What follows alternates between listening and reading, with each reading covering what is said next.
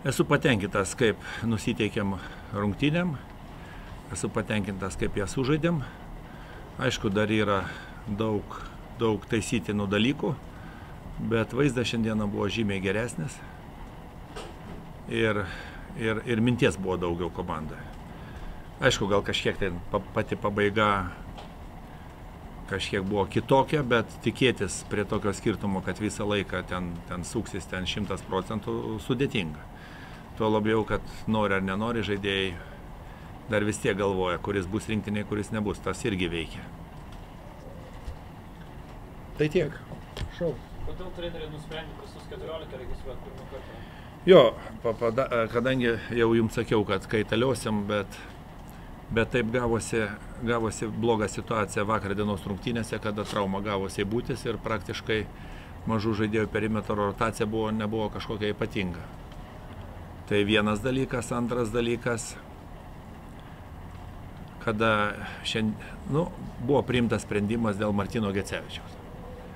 Ir aišku, mes galėjom laukti turnyro pabaigos, visą kitką, bet, bet nebuvo prasmės, turėjom būti garbingi ir savo, ir, ir, ir, ir, ir žaidėjai.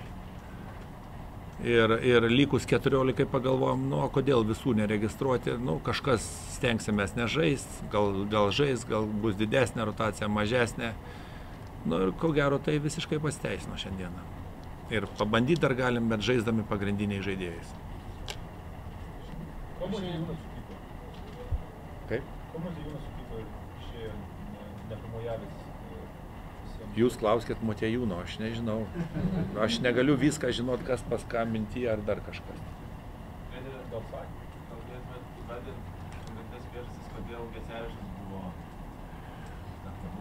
Nu, aš galvoju, kad jis yra geras žaidėjas, bet kiekvienas žaidėjas turi turėti savo, savo komandą.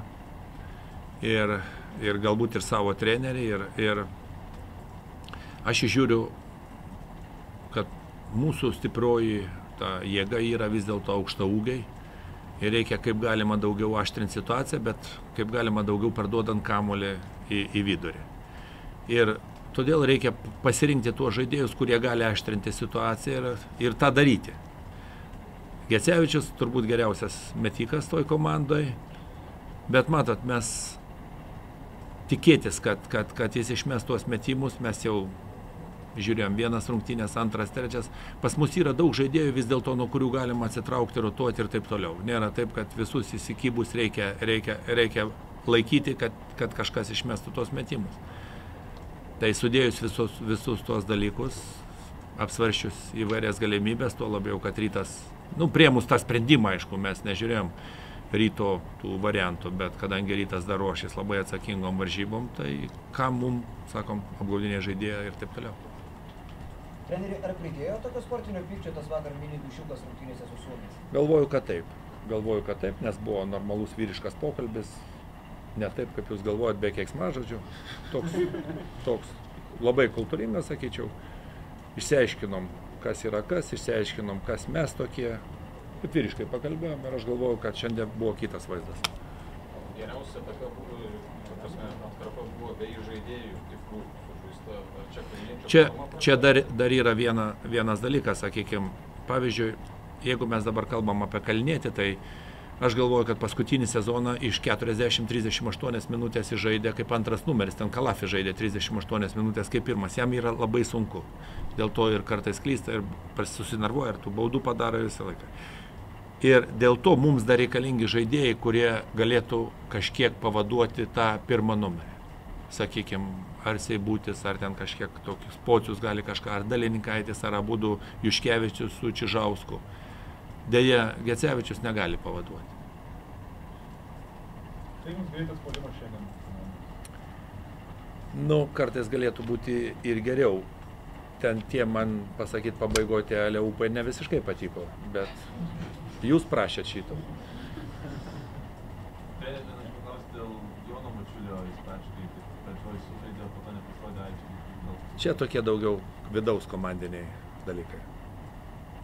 Jūs apie žmoną savo nepasakojat atėjęs.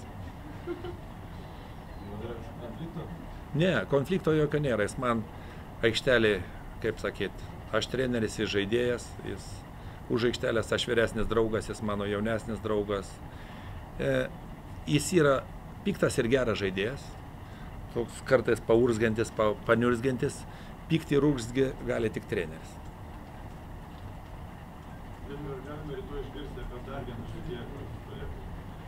Žinot, visko gali būti, bet, bet planas šiai dienai yra, kad 14 žaidėjų vyksta į Akropolio turnyrą.